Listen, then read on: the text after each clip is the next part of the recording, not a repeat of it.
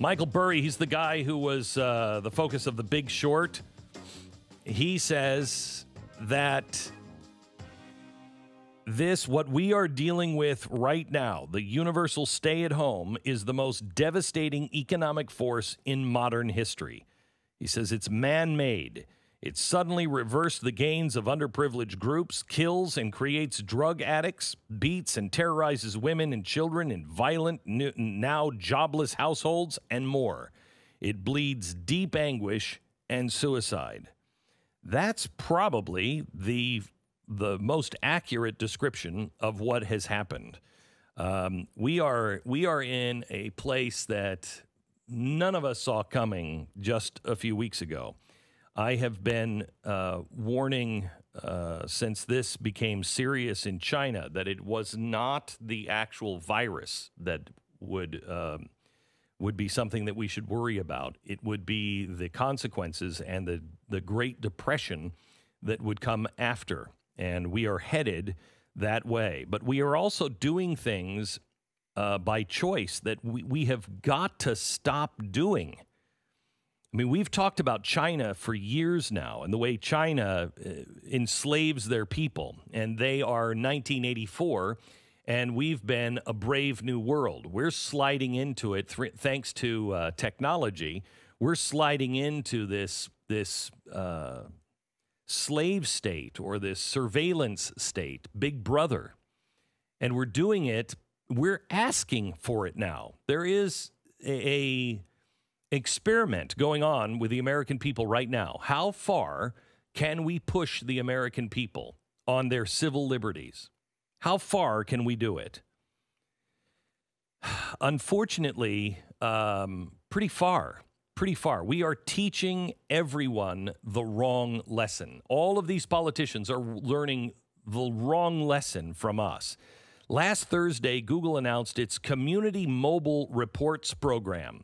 It's completely harmless. Google is just providing government leaders uh, data on where people are traveling during the pandemic, you know, for your safety. Now, they say this is all anonymous. Uh huh. Uh huh. Google is providing data for states and counties to help governments understand how well stay at home orders, uh, orders are working, among other things. Google insists the government cannot track you individually. Uh huh. Uh huh. Here's the latest from the Kansas Department of Health and Environment. Kansas, a state, is tracking individuals using a GPS tracking platform called Unacast. Kansas is tracking individuals and their locations through their cell phones. They're using this program to grade counties on their social distancing effectiveness. So far, 45 out of 105 counties got an F grade. The state average is a C. Unacast gets its location data from other applications on your phone. So it's not legally required to notify you that you're being tracked by the government of Kansas. If Kansas can figure this out, uh, I'm pretty sure the federal government can find the loopholes.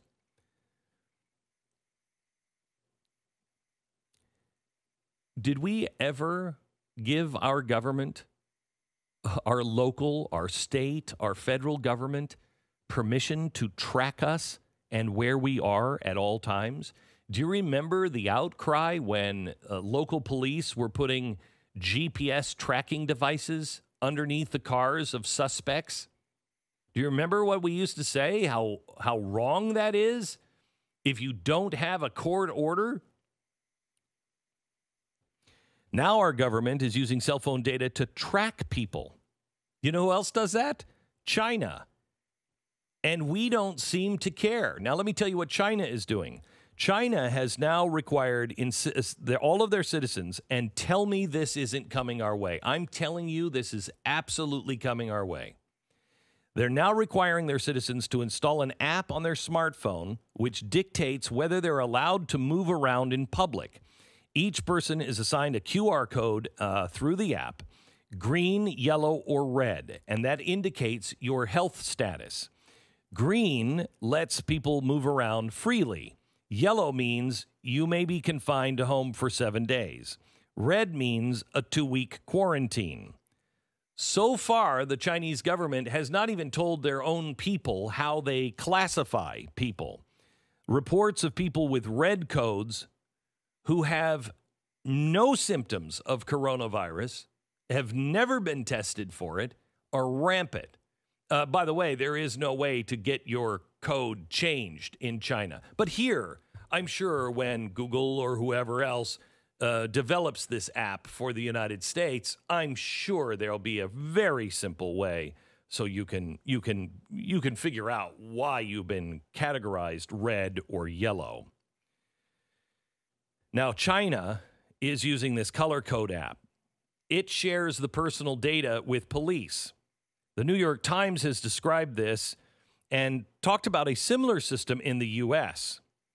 That's that would be used by the CDC, hooking up with Amazon or Facebook apps to track the symptoms and then start sharing that data with your sheriff's office.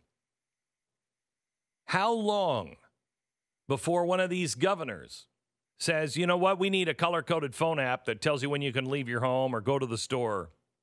How many of how how long will it take before one of them hear this story and go, "Well, that's a good idea. We need that. It's for the it's for the the people's safety."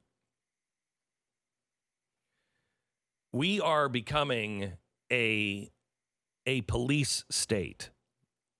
And if you think that these local police departments that are ordering all these drones, the drone companies cannot keep up with the requests for drones from U.S. police departments. If you think they're going to give up those drones after this is over, you're fooling yourself. Now, the Chinese government is offering $300 to anybody who reports on neighbors attending social events, refusing quarantine, uh, running a fever. Lower payments are offered for information about people trading wild animals, price gouging, you know, hosting family members visiting from another city.